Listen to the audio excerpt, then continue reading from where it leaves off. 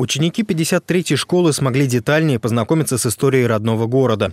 На уроке, посвященном событиям военных лет, познакомились с историей строительства сооружений стратегического назначения, таких как бункер Сталина.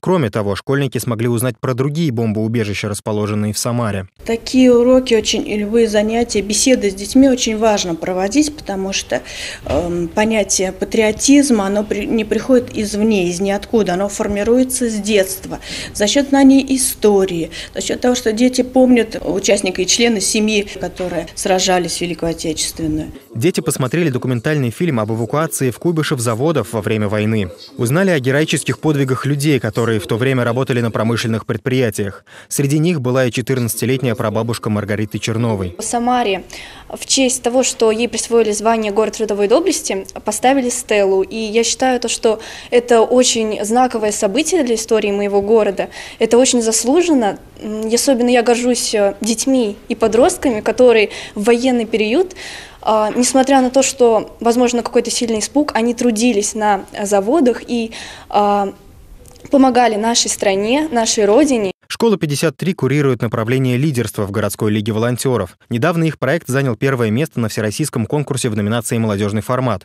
Авторы готовят семь туристических маршрутов, которые будут знакомить жителей города с трудовыми подвигами куйбышевцев в годы Великой Отечественной войны. Проводить экскурсии будут сами школьники. Это та тема, которая реально волнует школьников нашей школы, поскольку город не каждый в стране получил такое почетное звание город трудовой доблести, да, и мы хотим, чтобы это был не пустой звук, Такие уроки истории проводятся регулярно. Во время занятий дети узнают дополнительную информацию о городе трудовой доблести, которую в дальнейшем смогут использовать при создании экскурсионных маршрутов.